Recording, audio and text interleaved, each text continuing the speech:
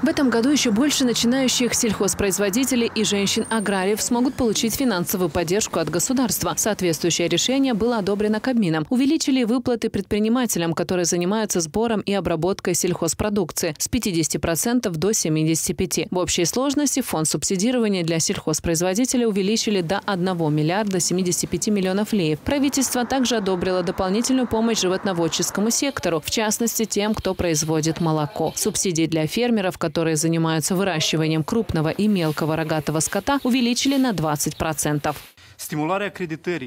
Это будет стимулировать кредитование сельхозпроизводителей коммерческими банками и небанковскими кредитами организациями путем доступа к инвестиционным кредитам с субсидиями до 150 тысяч леев и доступа к кредитам для увеличения объема оборотных средств путем предоставления субсидий до 200 тысяч леев. Тем не менее, на заседании правительства 4 апреля не обсуждалось 30-процентное субсидирование акцизов на дизельное топливо, как того обещала премьер-министр Наталья Гаврилица. Я не слышала о компенсации акцизов на дизельное топливо. Это будет дополнительное решение правительства относительно фонда субсидирования, согласно которому средства направят на акцизы на дизельное топливо.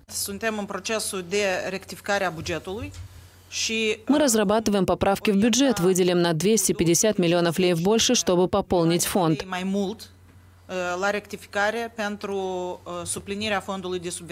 Также правительство впервые сможет субсидировать многолетние плантации, на которых выращивают растения, включенные в каталоги ЕС. Пока неизвестно, когда сельхозпроизводители смогут подавать заявки. Соответствующий регламент еще разрабатывается.